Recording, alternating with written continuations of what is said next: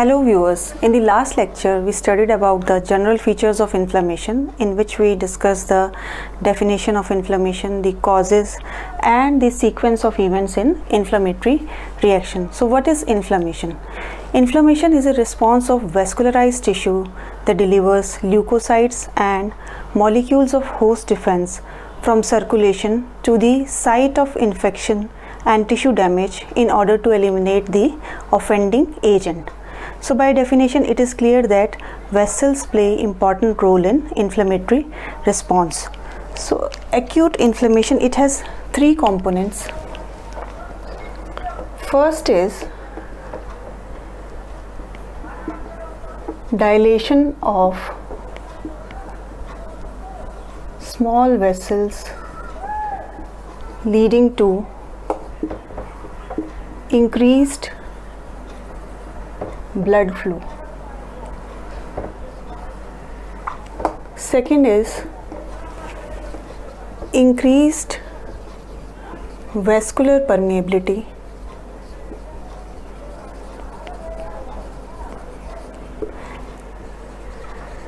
that enables leukocytes and plasma proteins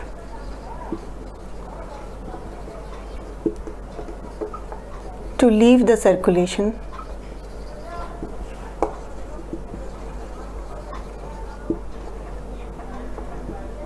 And enter in the extravascular site where uh, the injurious stimuli or the microbes are there. And third one is emigration of leukocytes from circulation. Their accumulation in the extravascular tissue and activation and their activation to in order to eliminate the offending agent so normally the leukocytes are which are circulating which are in the circulation they are not active or they are in a stable form. So they need to be activated in order to eliminate the offending agent. So whenever an individual encounters uh, injurious stimuli in the form of microbes so the tissue resident macrophages they try to eliminate it and they also identify the uh, various microbial products the toxins they have receptors to identify these agents. So when the receptors they are engaged there is release of some cytokines some uh, messengers or chemical mediators which act on the vessels small vessels which are present in the vicinity and these mediators they bring about the changes in the vessels that are seen in acute inflammation. What are these changes? These are vasodilation and increased vascular permeability.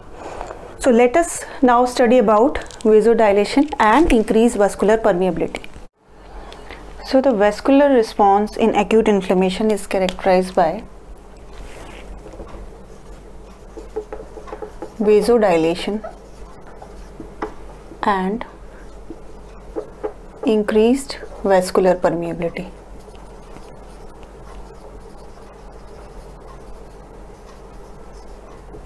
Vasodilation occurs in a response to mediators like histamine.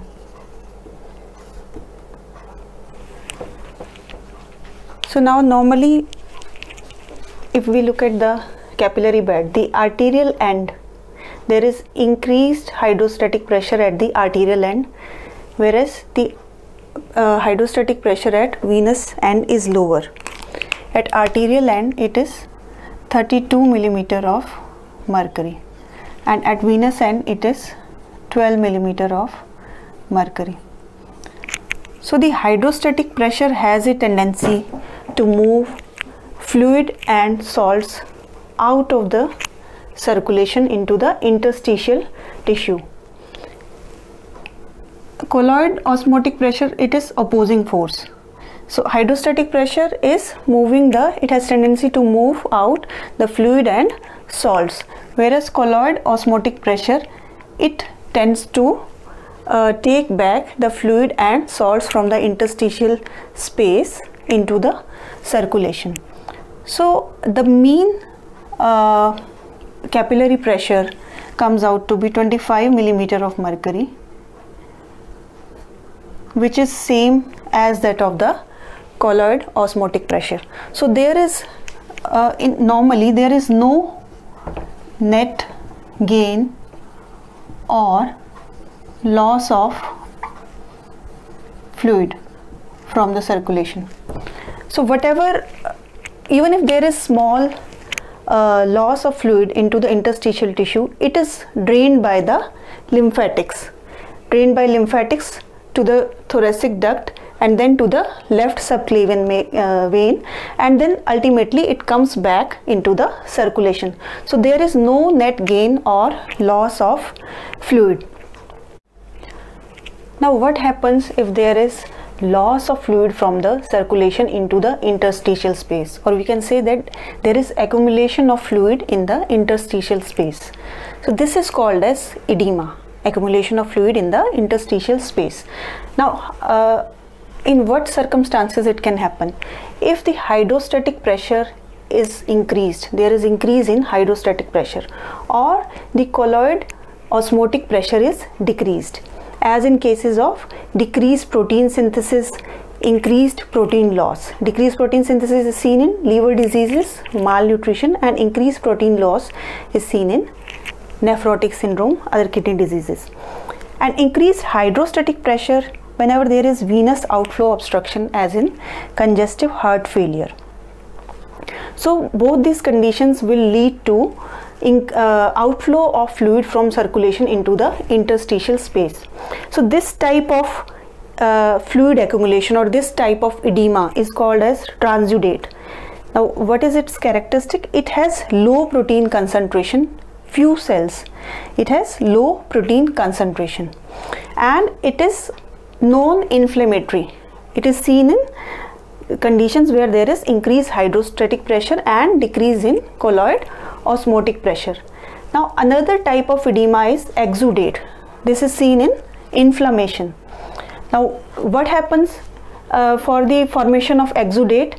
There has to be increased uh, uh, increase in the vascular permeability increase in the vascular permeability so that the fluid, the plasma proteins and the leukocytes they leak out from the circulation to the interstitial space.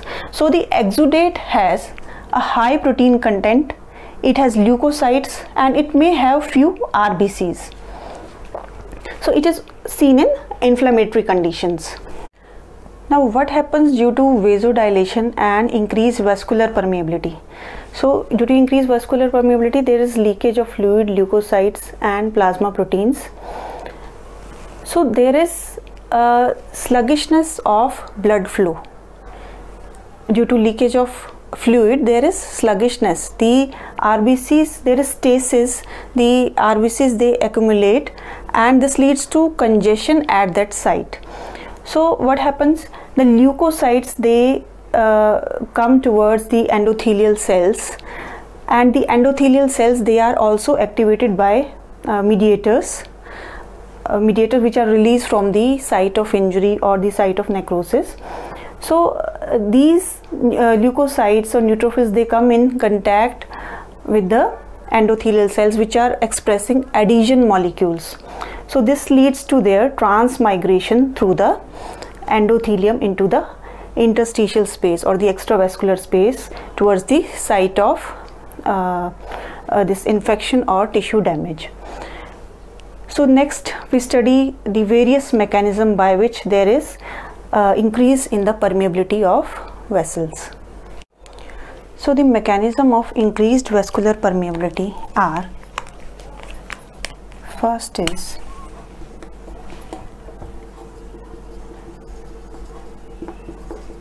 endothelial cell contraction. This occurs in response to histamine bradykinin leukotrienes and other chemical mediators this is a this occurs rapidly and it is a short-lived response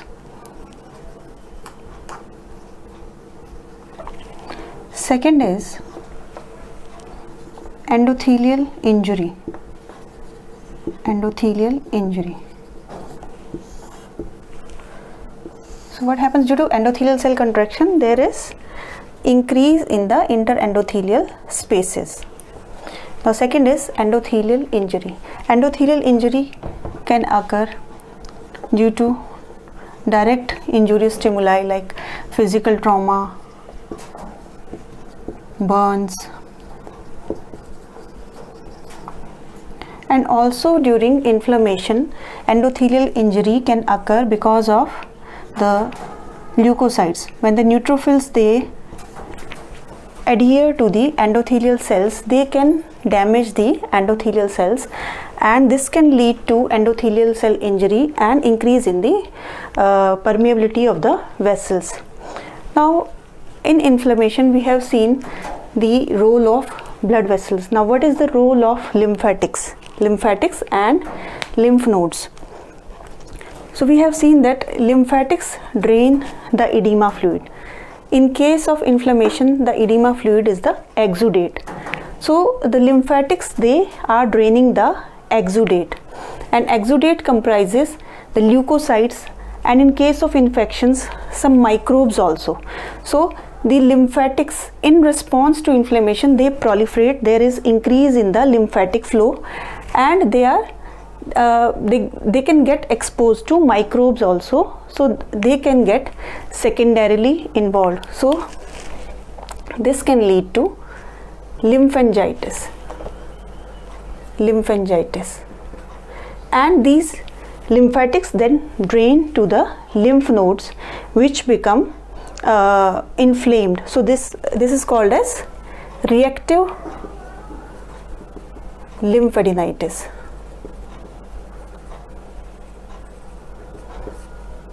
There is follicular hyperplasia in the lymph nodes. So this was the about the uh, acute inflammation. The uh, vascular response in acute inflammation. Next we will study about the cellular response the leukocyte migration to the site of uh, inflammation. Various steps we will discuss. Now uh, in the intervening lecture I will discuss uh, the differences. There are various differences. Basically I have broadly discussed the differences between exudate and transudate. So we will point wise discuss the differences between exudate and transudate before the cellular events. So I hope you like the lecture. Thanks for watching